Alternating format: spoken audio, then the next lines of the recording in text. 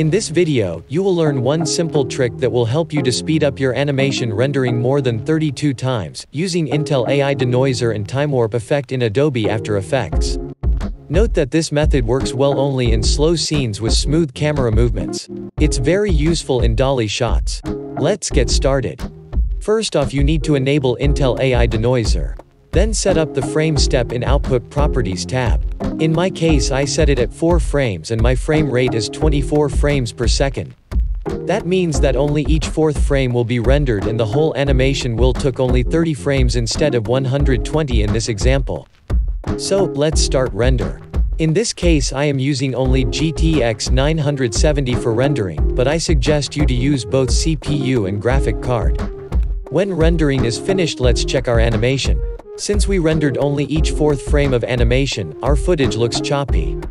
We can fix that using some magic. It's time to start After Effects. Import your frames and don't forget to check force alphabetical order. Also you need to interpret your footage and set up correct frame rate.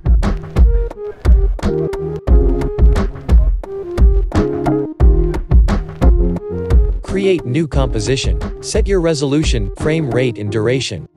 Now drag and drop your footage into timeline. Enable time remapping and extend clip.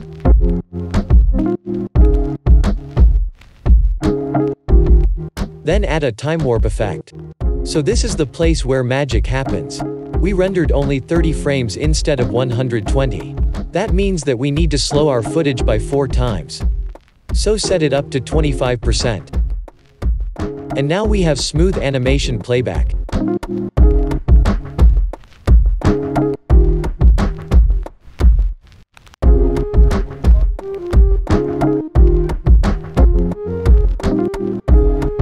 If you need you can tweak some settings. In this comparison you see how much faster this method is. I hope you have learned something useful.